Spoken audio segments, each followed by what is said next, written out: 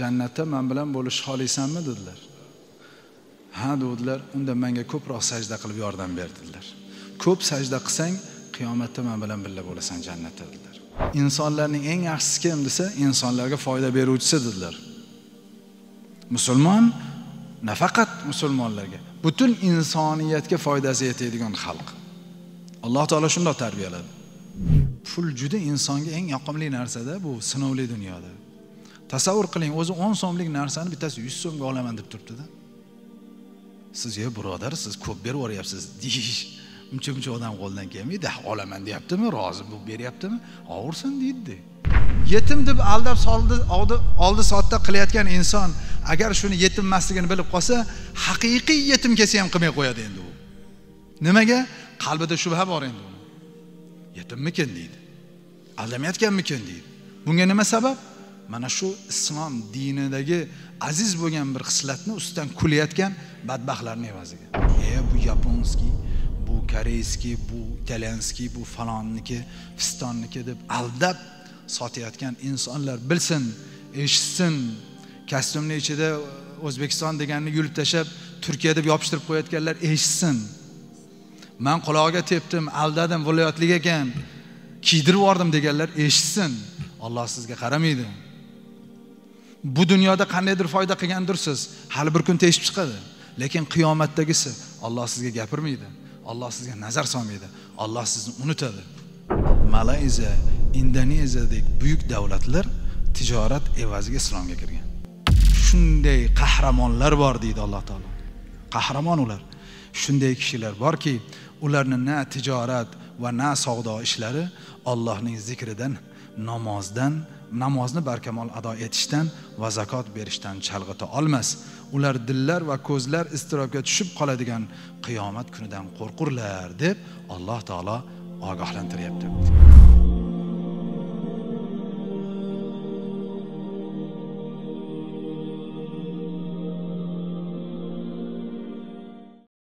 Bismillahi rohmanir rohiym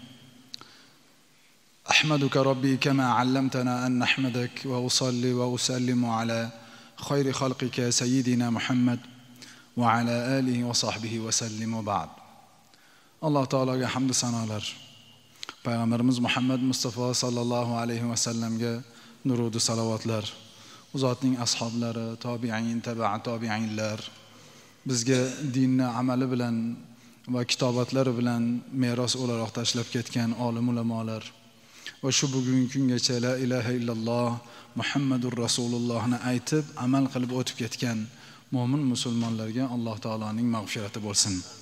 Ammo ba'd assalomu alaykum va rahmatullohi va barakatuh. Aziz otaxonlar aka ukalar dindosh birodarlar qadamiylarga hasanot alloh barchalarimizni xulusu niyat bilan bosgan har bir qadamimizga ajrlarimizni ko'paytirib bersin va har bir qadamlarimizga gunohlarimizni mag'fur qilsin va har bir qadamlarimizga jannatdagi maqomlarni eng balandligini nasib qilsin. Payg'ambarimiz sollallohu alayhi vasallamning xizmatkor sahobalaridan birlari juda yosh yigit edi. Bir kun kirsalar yig'lab o'tirgan ekanlar. Rasuli akram sollallohu alayhi vasallam bolada pul beraman dedilar. Nega mahzun bo'lasan deganlarida ya rasululloh man dunyom kiyimim yo'qligidan yig'layotganim yo'q. Mani yig'layotgan narsam shuki bugun men sizni shu qadar yaxshi ko'rdim. Shu qadar sizga muhabbat qo'ydim. Lekin qiyomatda jannatga kirishdan ham umidim boru siz bilan birga bo'lmasligidan mahzun bo'laman. Sizni maqomingiz payg'ambarlik maqomi. Men esa oddiy musulmon. Sizni qiyomatda topolmayman deb mahzun bo'laman degandilar. Rasuli akram sollallohu alayhi vasallam aytdilarki jannatda man bilan bo'lishni xohlaysanmi dedilar. Ha dedilar. Unda menga ko'proq sajda qilib yordam ber dedilar. Ko'p sajda qilsang qiyomatda man bilan birga bo'lasan jannatda dedilar. Sahobalar aytishadi qachon qarasak shu namoz o'qiyotganini ko'rdik. Chunki uning muhabbati uning niyati maqsadi payg'ambar sollallohu alayhi vasallam bilan jannatda birga bo'lishidi alloh barchalarimizni u zot bilan eng yaqin sahobalar eng yaqin musulmonlar qatorida bizni ham jannatda alloh rasululloh bilan jam qilsin. Aziz dindoshlar inshaalloh bugun halol savdo haqida gaplashamiz. Man doim suhbatim boshida aytamanki bir yil avval eshitgan bo'lishimiz mumkin besh oy oldin eshitgan bo'lishimiz mumkin.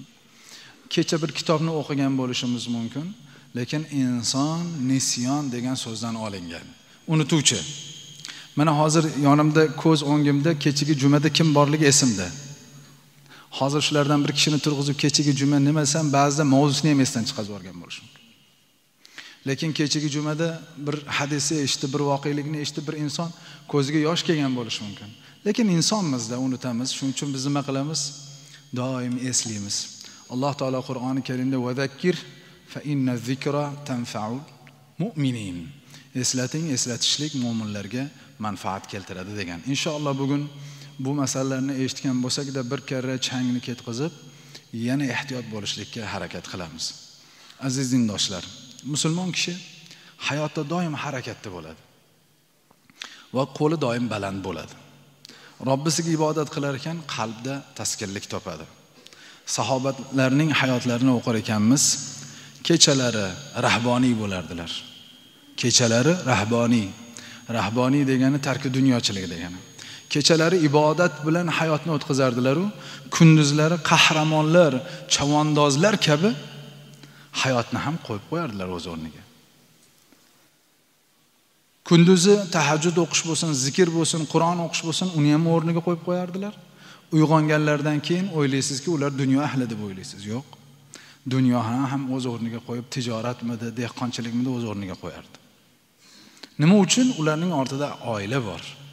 Uning ta'minoti esa o'sha oilaning boshida musulmon kishi ibodatdan tashqari nima bilandir mashg'ul bo'ladida o'sha mashg'ul bo'lishi o'ziga ham oilasiga ham musulmonlarga ham millatga ham vataniga ham foyda yetadi chunki insonlarning eng yaxshisi kim desa insonlarga foyda beruvchisi dedilar musulmon nafaqat musulmonlarga butun insoniyatga foydasi yetadigan xalq. Alloh taolo shundoq tarbiyaladi. U biror bir kasb bilan tijorat bilan dehqonchilik bo'lsin nimadir bilan mashg'ul bo'ladi. Musulmon kishi ertayu kech masjidda yotib olmaydi. Musulmon kishi ertayu kech masjidda zikr qilib o'tirmaydi. O'zini vaqti bor. Namozini o'qiydi olloh farz qilgan. Vaqtida zikrni qilib oladi darsini qilib oladi. Lekin bu zikr tasbeh uchun ertadan kechgacha yotib olmaydi masjidda. Musulmon bunday bo'lmaydi. Bir kuni iso alayhissalom bir kishiga yo'liqib qoldilarda aytdilarki ma tasna dedilar. Nima qilyapsan? Nima qilyapsan? Qola atabudu dedi. Men ibodat qilyapman dedi. Shunda iso alayhissalom aytdilarki oilangga kim qarayapti?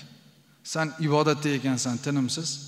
Oilangga kim qarayapti? deganda haligi odam aytdilarki ahi dedi. Birodarim oilamni ta'minotini qilyapti. Men ibodat qilyapman. Faqola ahuka a'badu minka. Unda akang sendan ko'ra ibodatroq ekan. O'sha ukang oilangga qarayotgan kishi sendan ko'ra ibodatliroq ekan. Zohiran qarasangiz bu qanday? Ibodat qilayotgan insondan ibodat qilmayotgan go'yoki inson qanday ustun bo'lishi mumkin degan savolga javob shu. Ibodat qilayotgan odam faqat o'ziga foyda keltirishi mumkin. Zikr aytadi istig'for aytadi salovat aytadi namoz o'qiydi qur'on o'qiydi. Mashaalloh lekin u insonchi. Ollohning farz qilgan oilaning nafaqasini qilyapti shuning uchun iso alayhissalom aytdilarki seni oilangga qarayotgan inson aslida sandanda ko'ra ibodatliroq dedilar. Sahobalar roziyallohu anhu bir kuni payg'ambar sollallohu alayhi vasallamga bir sahobani maqtab ketishdi. Bir kishini o'zi maqtashdi ibodatli zikrli qur'on o'qishni haqida gapirishdi. Payg'ambarimiz sollallohu alayhi vasallam aytdilarki man yaqumu bi sha'nihi dedilar. Ho'p sizlar maqtayotgan sahoba tinimsiz ibodatda ekan. Endi uni oilasiga kim qaraydi dedilar. Bola chaqasini ta'minoti kimni bo'ynida? Qolu nahnu jamian naqumu bi sha'nihi. Ya rasululloh biz turibmizku. Biz qarashamiz birodarimiz ahliga deganlarda qola kullukum afdalu min dedilar. Unda sizlarni hammanglar undan ko'ra yaxshi ekansizlar dedilar. Bu payg'ambarimiz sollallohu alayhi vasallamning gaplarini to'g'ri tushunish kerak. Ibodatning o'z vaqti bor o'rni bor. Inna solata kanat alal mu'minina kitaban mavquta sadaqallohu azim namoz vaqtida farz qilindi. Besh vaqt namozimiz bor. Bu bizni gardanimizga farz. Kunlik virdlarimiz bor ha? Nechtadir salovat aytamiz nechtadir istig'for aytamiz nechtadir tahlil aytamiz nechtadir tasbeh takbir aytamiz. Bu virdlarimiz bor. Gap yo'q. Lekin lekin payg'ambar sollallohu alayhi vasallam ushbu hadislarni unutmasligimiz kerak. Oxiratni deb dunyosini dunyo deb oxiratni unutib qo'ymaslik. Ummatan vasaton vasatiylik bo'lishi kerak. Ibodatingizni ham qiling ahlingizni ham ta'minotini qilib qo'ying. Bugun mana shu narsani ya'ni ahlni nafaqasini unutib ey rizqi ollohdan men bo'lsam bo'lmasam xudo rizqini beradi deb ahliga qaramasdan oylab safarlarga chiqib ketayotgan tasavvufdagi ba'zi bir insonlar bor. Oylab. Yuraveradi u viloyatdan bu viloyatga bu viloyatdan u viloyatga kim nima bersa shuni yeb zikr qilyapmiz. Mashaalloh qilsin lekin ahlning nafaqasi uni bo'ynida farz. Farz sunnatdan mustahabdan ustun turadi vojibdan ustun turadi. Ana shu qoidani buzayotgan oilalar dinni yomon ko'ryapti. Keyin uni ahli bolalari aytadi bizni otamiz tashlab ketgan na o'qishimizga qaraydi na kiyimimizga qaraydi na yeyishimizga qaraydi zikrga e, ketyapman deydida u yoqdan bu yoqqa ziyoratga deb yuraveradi deydi va dinni yomon ko'radi. Ana bu xato. O'shaning uchun ham hajga borayotgan inson to hajga borib kelguncha ahliga yetadigan oziqani berish kerak. O'lib qolmaydigan darajadagi rizqni berish kerak. Qaysi ma'noda ular yeb ichishi ana undan keyin haj qilishlik kerak bo'ladi. Shu ma'noda bizni xatoyimiz shu. Yo dunyoni unutib qo'ymaylik deb dunyoga botqog'iga botib ketyapmiz. Namoz ham esimizdan chiqib ketyapti zikr ham esimizdan chiqib ketyapti. Mukkadan ketib qolyapmiz. Yoki man allohga rasulullohga eng yaqin bo'lay deb dunyoni unutib butunlay peshonamizni sajdadan ko'tarmayapmiz. Yo'q biz vasatiy bo'lishimiz kerak. Ibodatimiz ham hayotimiz ham bo'lishi kerak. Tijorat haqida gapirar ekanmiz. Tijorat aslida payg'ambarimiz sollallohu alayhi vasallamning sunnatlaridan payg'ambar bo'lmaslaridan oldin amakalari abu tolib bilan borishlari yoki bo'lmasa hadicha onamizning takliflariga ko'ra payg'ambarimiz sollallohu alayhi vasallam tijorat maydoniga chiqishlari va payg'ambarlikdan keyin ham tijorat qilganliklari to'g'risida tarixdan biz yaxshi bilamiz. Demak bu tijorat eng barakali bir kasb. Qachon? U halol bo'lsa. Payg'ambar sollallohu alayhi vasallam aytganlaridek bo'lsa oz bo'lsa ham barakali bo'ladi. Lekin biz ko'proq topaylik deb haromni shubhani e'tiborga bermasak unda na baraka bo'ladi va na rohat. Yoki bo'lmasa abu bakr siddiq roziyallohu anhu payg'ambar sollallohu alayhi vasallamdan keyin eng afzal inson. Agar payg'ambarlik kelganda mandan keyin abu bakrga kelardi deganlar. Shundoq zot ham tijoratchi bo'lganlar. Hatto xalifalik davrlarida ham qo'llariga o'sha qimashni tashlab bozorga tijoratga borar ekanlar shunda umar roziyallohu anhu kabi buyuk sahobalar ya abu bakr dedilar siz agar bunaqa qilsangiz musulmonlarning sha'ni qolib ketadi siz tijorat bilan mashg'ul bo'lsangiz musulmonlarni e, bu hayotlari islom davlatlarida bo'layotgan ishlar bir ma'noda to'xtab qoladi. Shu uchun sizga maxsus bir oylik qilib beraylikda tijoratingizni to'xtatib turing degan taklif bo'lgan. Shunga rozi bo'lib keyin maxsus oylik berilib turilgan ahllariga pulni o'ylamaganlar faqat dinni g'amida bo'lganlar. Har bir insonga bu narsa kerakda yoki bo'lmasa usmon roziyallohu anhuni qanday boy inson ekanliklarini bilamiz. Man bir e, ikki oy oldin sizlarga ruma degan quduqni yigirma ming dirhamga sotib olganliklarini aytgandim yigirma ming dirham. Kecha bir videorolik ko'rib qoldim. Bu yigirma mingga yaqin qo'yni puli ekanda yigirma mingta qo'y berar ekan o'sha vaqtda. Payg'ambar sollallohu alayhi vasallam o'sha madinada suv ko'p bo'lgan. Lekin rumaniki shirin bo'lgan va zamzamga yaqin bo'lgan ekan. Zamzamga yaqin bo'lgan ekan. Qolganlari sal sho'rroq bo'lar ekan. A uni yahudiy xurmoga sotar ekan. Hovuch xurmoga sotar ekan.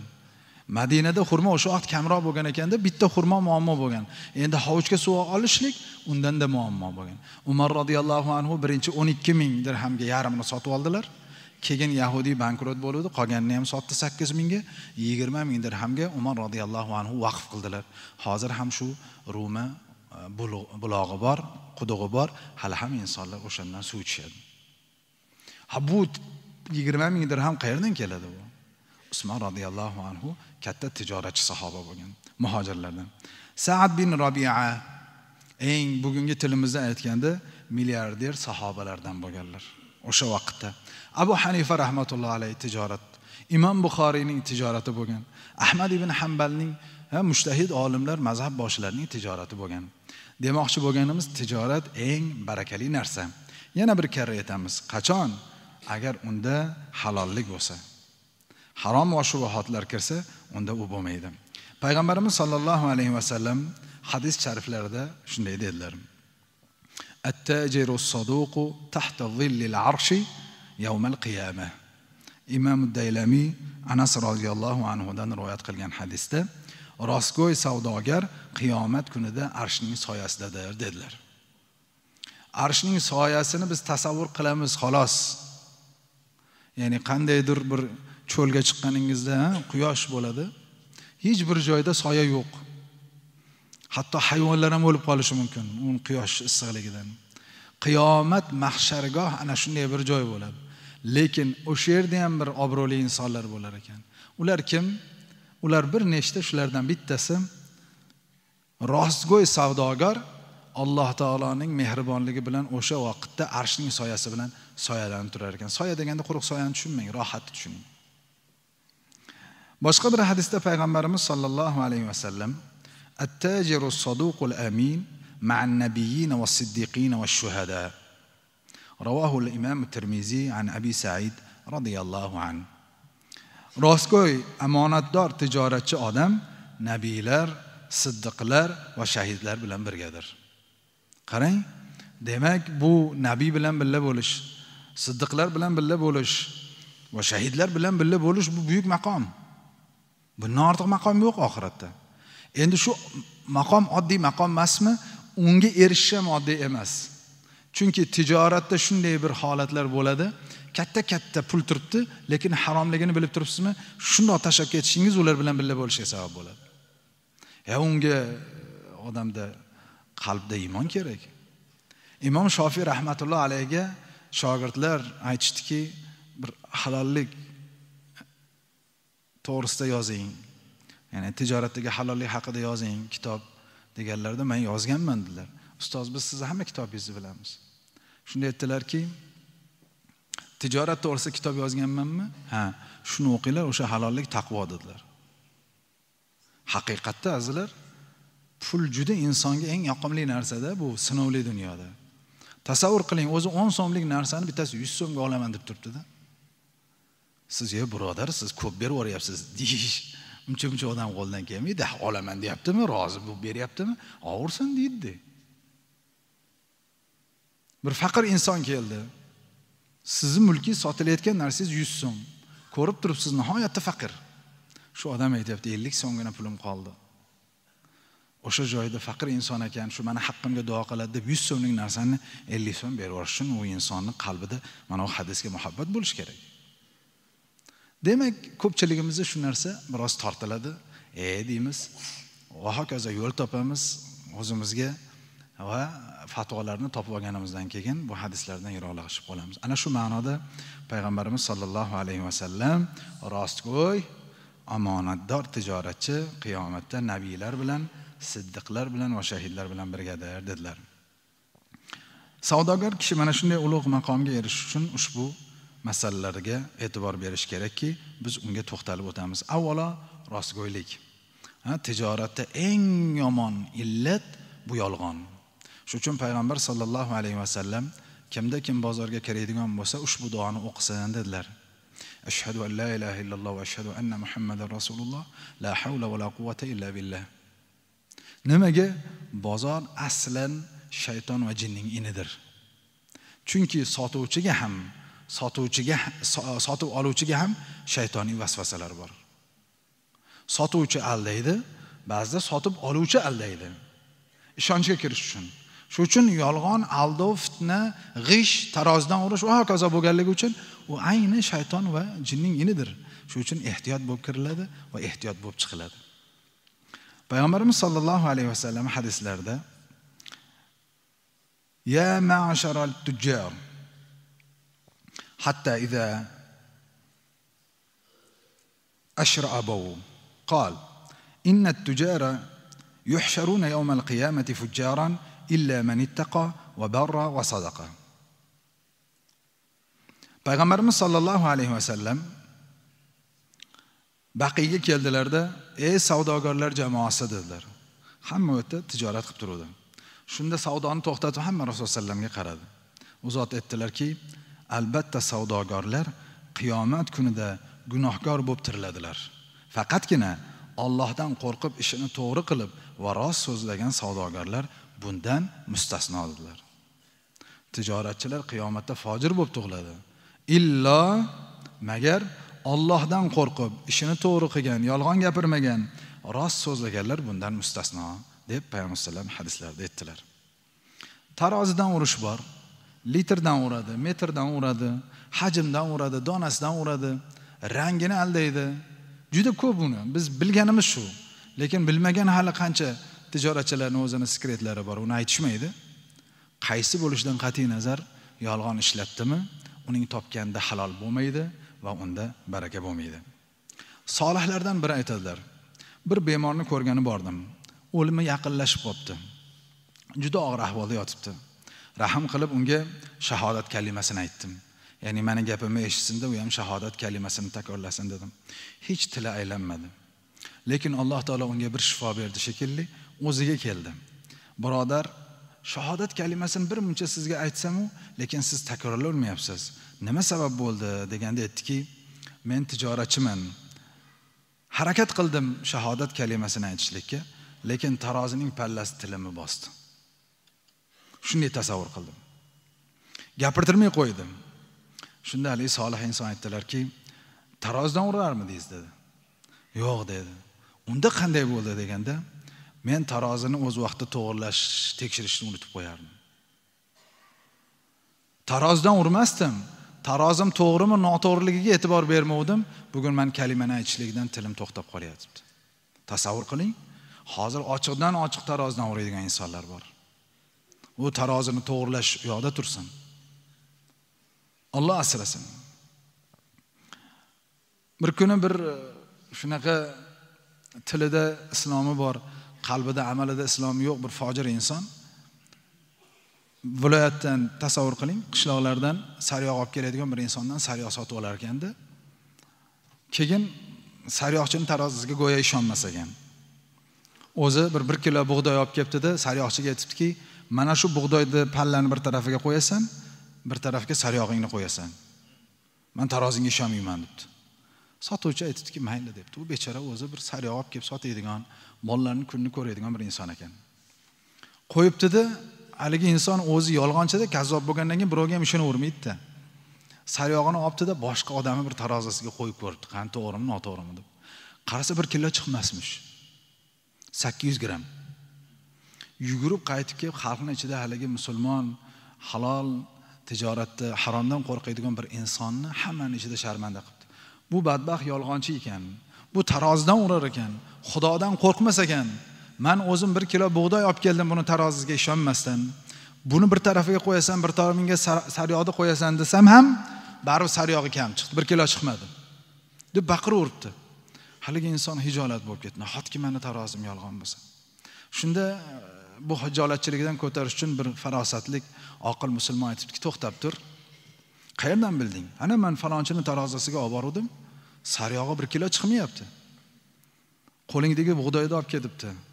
Qo'ldagi bug'doyni olib borib boshqa bir taroziga qo'ysak bug'doy sakkiz yuz gramm chiqibdi. U bug'doyni o'zini tarozida tortib kelgan ekan. U o'zi ikki yuz gramm sotib aldab sotar ekan xalqqa. Xudoni adashtirib qo'ysa xudoni sharmanda qilib qo'ysa mana shunaqa qilib qo'yadi. O'zi xalqqa aldab sotadigan tarozisida bir kiloni bug'doy qilib olib kelgan u sakkiz yuz gramm bu bechora hali tarozida tortgani yo'q. O'shani mosiga taroziga tortib berganini yolg'on deyapti. O'zi xalqni ichida sharmanda bo'lib doibatga qolgan ekan. Shunaqa insonlar bor. E azizlar tijoratda halol bo'lishi kerak deydida o'zi uraveradi. Va yana oldi sotdidagi yolg'onlardan azizlar bu bizga aytib berishadi biz o'zimiz boshida bo'lmaymiz. Chunki mol bozorga biz kamdan kam umuman bormasak ham kerak. Bu mol bozordagi aldovlarni aytishadida qoraga deydi biz taniymiz e, bir o'rni kelganda aytib beringlar deydi. Bitta bolani ushlab oladi bola o'zini bolasi deydi.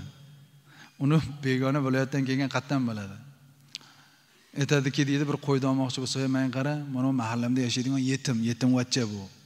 Otasi yo'q shular bir to'y qilyapti. Shu qo'yingni shunga ber yetim axir duo qiladi sanga. Deb deydi anavi sotuvchini deydi yig'latib yuboradi deydi. Oxiri sotuvchi tekinga bermaydiyu arzon kiraga shu yetim ekan mayli shunga bo'la qolsin keyingi tijoratlarimdan baraka bo'lib ketadi deb umid qilib deydi juda arzonga haligiga qo'yini molni beradi deydi. Endi u bechora ketdimi deydi keyingi e, bozorga chiqadida deydi o'sha payshanbami jumami chorshanbami chiqadida deydi yana o'sha o'zini o'g'liga molni yoki qo'yni ushlatib qo'yib birov olmoqchi manga qara bu yetimvachcha bu. To'y qilmoqchi bu. Ha shuni molini qimmatroqqa ol bu bechora bu to'y qilib olsin deb deydi o'zini o'g'lini qo'ldan ushatib bolasiga ham indamiysan ekanda bo'lmasa o'zini o'g'li. Yetimvachcha deb molni olib yolg'onga arzonga sotib olib yolg'onga qimmat sotadigan insonlar bor deydi. Olloh bundan asrasin. Olloh bundan asrasin. Bu eng pastkashlik eng xorlik bu. Shundoq yegandan qora non yeb yashagan yaxshi qotgan non panagan non yeb yashagan yaxshi. Chunki bu yetimlik islomdagi eng buyuk fazilat yetimparvarlik. Inson shunga ishonadi. Mana bugun bizdan so'ranglar ko'chada turgan ba'zi bir insonlarga yordam qiling desa indamay o'tib ketamiz. U naryoqdan ko'rayotgan inson aytishi mumkin domla ehson qil ehson qil deydi anaviga ehson qilmay o'tib ketdi deydi. Man bo'lsam man ham shu gapni aytaman lekin endi mana bugun o'rni kelganda aytib qo'yay. Ehson so'rayotganning aksari kazzob. Uni ustidagi kiyim sizni qizingizda ham yo'q. Va biz bilamiz boshqa masjidga borsak xuddi shu bahonani aytib boshqa masjidda ham gadoylik qilayotgan bo'ladi. Yolg'onchi ishonmaysiz. Man nimaga buni aytyapman? Yetim deb aldab soldi oldi sotda qilayotgan inson agar shuni yetim emasligini bilib qolsa haqiqiy yetim kelsa ham qilmay qo'yadi endi u. Nimaga? Qalbida shubha bor endi uni. Yetimmikin deydi. Aldamayotganmikin deydi. Bunga nima sabab? Mana shu islom dinidagi aziz bo'lgan bir xislatni ustidan kulayotgan badbaxtlarni evaziga. Sababiyat shu.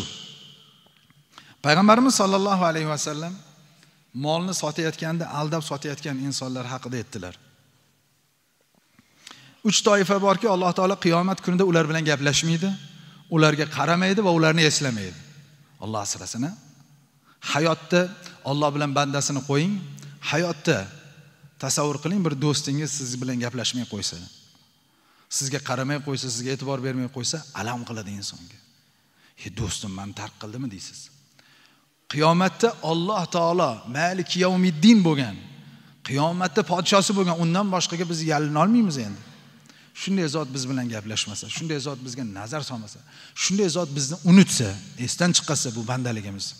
Qanday ahvolga tushamiz? Ana shundoq holatga tushadigan husronda nadomatdagi insonlarning toifasidan bittasi molni aldab sotuvchilar. Ketish uchun e bu yaponskiy bu koreyskiy bu italyanskiy bu falonniki fistonniki deb aldab sotayotgan insonlar bilsin eshitsin kostyumni ichida o'zbekiston deganini yulib tashlab turkiya deb yopishtirib qo'yayotganlar eshitsin. Man qulog'iga tepdim aldadim viloyatlik ekan. Kiydirib yubordim deganlar eshitsin olloh sizga qaramaydi. Bu dunyoda qandaydir foyda qilgandirsiz hali bir kun teshib chiqadi.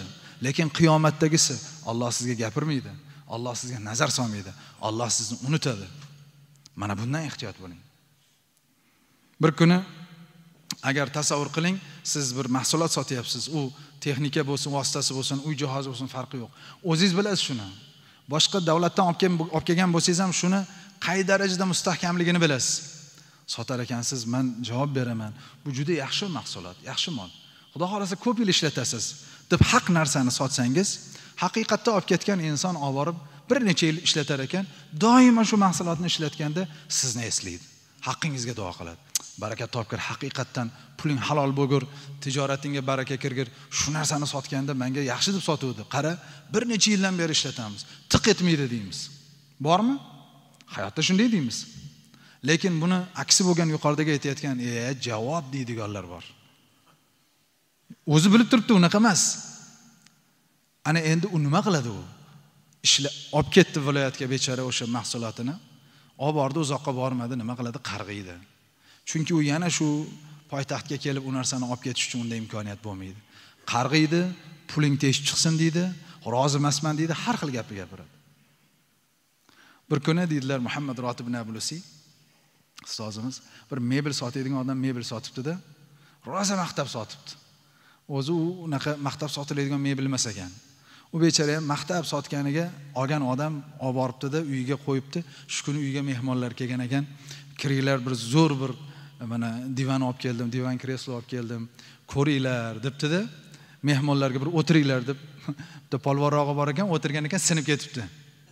Endi aslida u divan polvon odam bo'lsa sinib ketaverish kerak emas. Nihoyatda hijolat bo'libdi haligi inson. Bugun olib keldimku? Zo'r duvdiku. Bu shu insonni ko'tarmasa u qanaqa ekan deb ertasi kuni olib boribdi. Sotgan odamga. Siz rosa maqtadingiz zo'r dedingiz vaholanki u bir kunga bormadi desa sotuvchi nima dermish uni ustiga o'tirdinglarmi dermish keyin oluvchi aytgan nima nima qiladimi? Tomosha qiladimi o'tiradida divan bo'lgandan keyin. Yo qattiqroq o'tirib yuboribsizlar dermish kazzobda bu. O'zi o'tirdinglarmi deyishlik ollohni sharmanda qilgan. U yeyiladigan narsa emas o'tiriladigan rohatlanadigan narsa. Ana shu ma'noda payg'ambarimiz sollallohu alayhi vasallam bunaqa insonlarga alloh taolo qaramaydi gapirmaydi va e'tibor qilmaydi deganlar. Aziz dindoshlar olloh yo'liga da'vat qilish ikki turda bo'ladi.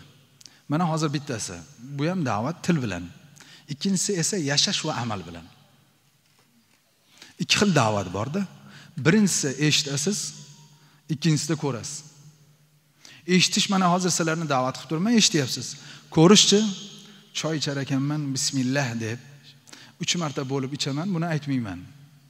Sunnatligini. Lekin sunnatligini siz ham men ham bilaman. Shu siz nima qilasiz? Mashaalloh deysizda ta'sirlanasizda. Siz ham endi choyni olar ekansiz o'ng qo'l bilan ichasiz ichishdan oldin bismillah deysiz va uch marta bo'lib ichasiz. Ba'zi ulamolar aytadiki bundan ko'ra buni ta'siri kuchliroq deydi.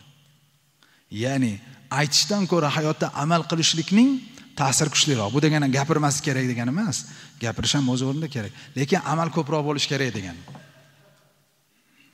Endi musulmonlar tarixda g'ayriddin bo'lgan musulmonlar yurtlariga tijoratda borishdi karvon bilan. Ular u yerda da'vat qilishmagan balki tijoratdagi halollikni ko'rsatishgan. Shuning evaziga mana bugun sizu biz biladigan davlatlardan malayziya indoneziyadek buyuk davlatlar tijorat evaziga islomga kirgan. Tijoratdagi musulmonlarning halolligini evaziga islomga kirgan. Tarixda shunday deyiladi. Ular futuhat bo'lmagan fath bo'lmagan u yerlar. Faqat musulmon insonlar tijorat qilib borgan va tijoratda oldi berdida ortib qolgan bo'lsa bu saniki? degan. Ortib qolgan bo'lsa ya'ni ko'p berib yuborgan bo'lsa man buni pulini to'lamadim deb va to'g'ri gapirgan aldamagan halolligini ko'rsatib bergan.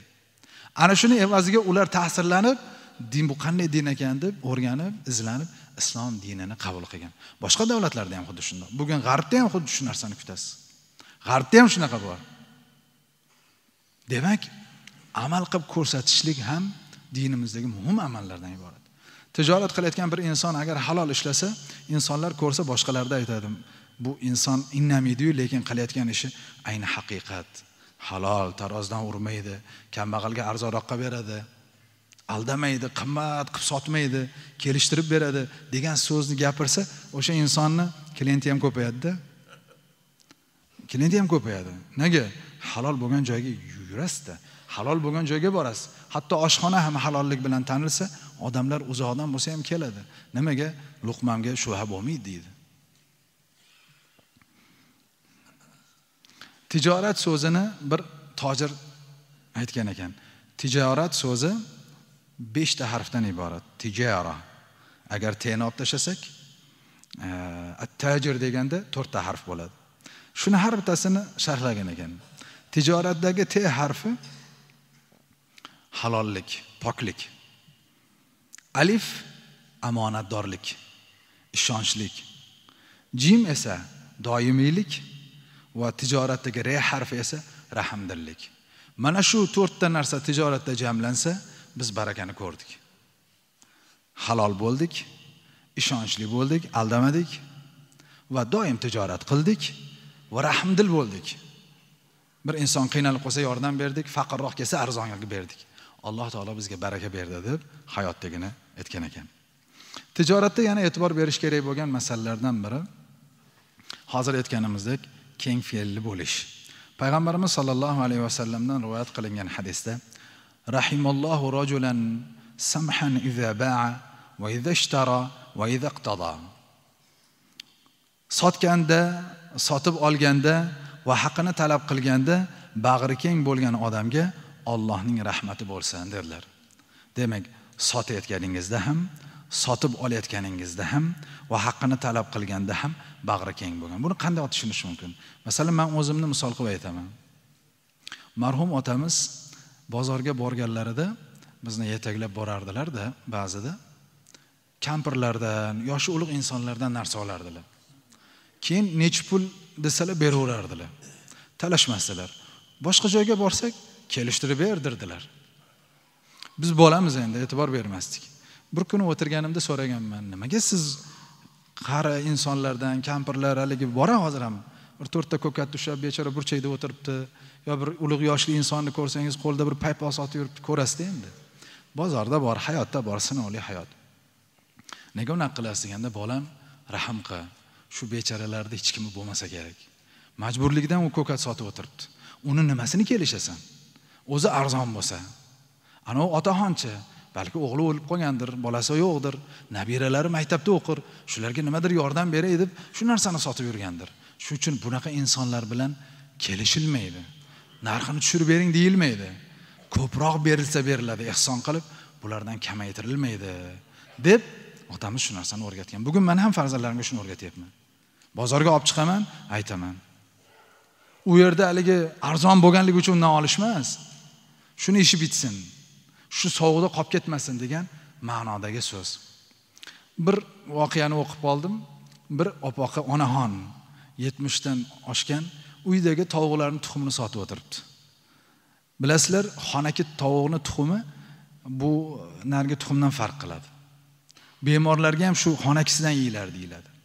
Bir boyvuchani bolasi kasal ekan bozorga tushibdida shu xonaki tovuq tuxumini izlabdi qarasa bir kampir sotib o'tiribdi.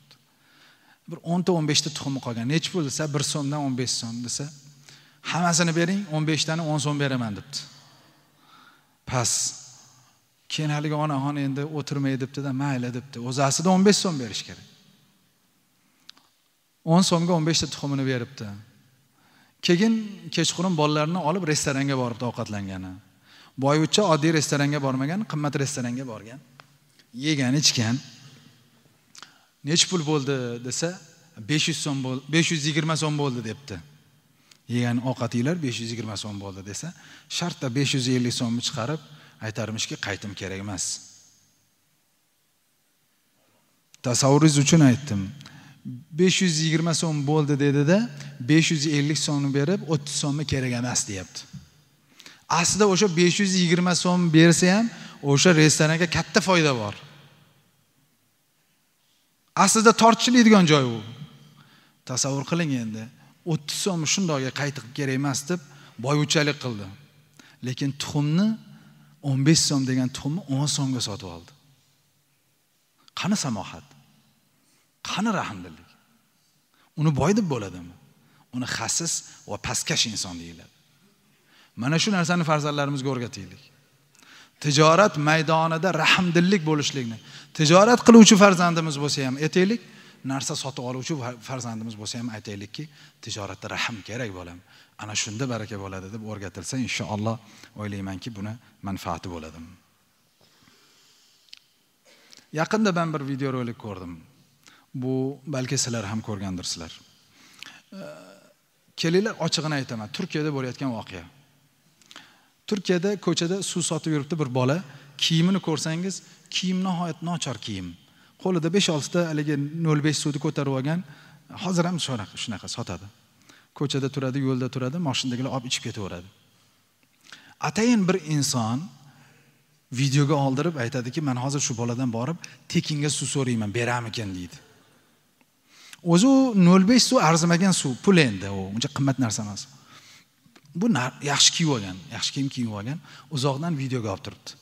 Haligi bolani oldiga boradi. Bola yuvinmagan ko'rinib turibdida bechora. Ertadan kechgacha ko'chada yurib moshinni changini benzinni anaqasini yutib yuzlari qorayib ketgan o'ziga e'tibor bermagan.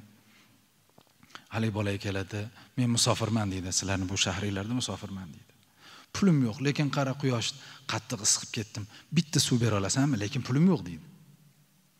Haligi bola ishoning azizlar. O'ylanmasdan suvni oldida ol dedi mana u suvni dedi. Ich dedi. Pulim yo'qku desa ol ol ol xudo uchun beryapman deydi. Yo o'n yo o'n ikki yosh bola. o'n yo o'n ikki yosh bola. Qiynalib o'zi o'shandan tiyin qolsa kerak suvdan shunga. Ko'p qo'ya olmaydi ko'p qo'ysa sotolmaydi tiyin qolsa kerak. Lekin haligi bola xudo uchun berdim puling yo'q ekanku mayli ol deyapti. Haligi videoga oldirayotgan bola yig'ladida bolani quchoqladida chekkaga olib borib katta pul berdi. Aniqki bilaman san musulmonning farzandisan dedi. Aniqki bilaman san musulmonning tarbiyasini topgansan dedi. Musulmondan o'zga inson bu ishni qilolmaydi dedi. Shu uchun senga bu mukofot deb juda katta pulni haligi bolaga berdi. Azizlar biz musulmonlarning farzandlarimiz ham samohatli bo'lishi kerak. Samohat katta yoshdagi insonlarda emas bolalarda ham bo'lishi kerak. Mana shu narsani man bir qasd qiluvdim gapirib beraman deb o'rni kelgani uchun sizlarga bu narsani aytdim. Aziz dindoshlar man kecha tarjima qilar chog'imda bir qiziq narsani o'qidim. Bundan oldin bu narsani bilmasdim. Muhammad rotib nabulusi aytyaptilarki ishoning deydilar arabchasini o'qib beraman. Hal tusaddiquna anna nabiy sallallohu alayhi vasallam بعد أن بنى مسجدا في المدينة بعد أن أصبح للمسلمين كيان بنى مسجدا ثم بنى سوقا خاصا للمسلمين ishonasizlarmi deyapti muhammad rotib nablusi payg'ambarimiz sollallohu alayhi vasallam madinaga kelganlaridan keyin masjid qurdilar undan keyin musulmonlarga xos bozor qurib beribdilar u bozorda yolg'on yo'q u bozorda ribo yo'q U bozorda aldov yo'q. U bozorda tarozidan kayldan o'lchovdan urush yo'q. Ana shundoq bir bozorni tashkil qilib berdilar va o'zlari aytdilar bu bozorda shunday shunday shunday bo'lishi kerak halollik bo'lishi kerak. Sahobalar shu yo'sinda yashashdi. Bugun biz shu bozorga muhtojmiz. Qaysi bozor musulmon yurtida shu bozorga boringlar tarozidan urilmaydi deydigan bozor bormi?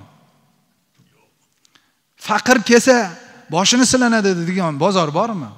Tarozidan yuzda yuz urilmaydi degan bozor bormi? Musulmonlar yashayotgan.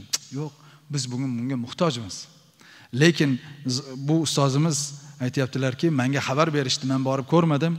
Lekin biz u bu deymizu amerikaning nyu york degan shtatida shunaqa bozor bor ekan hozir. Musulmonlar o'zlari bozor tashkil qilgan. U yerda ichkilik sotilmaydi. U yerda chekadigan narsa sotilmaydi. U yerda aldov yo'q boshqa yo'q. Halollik bilan tijorat qilinadigan kichik bozorcha bor ekan. Man hayratda qoldim dedilar. Aslida u bozor bizda bo'lishi kerak emasmi deyaptilar.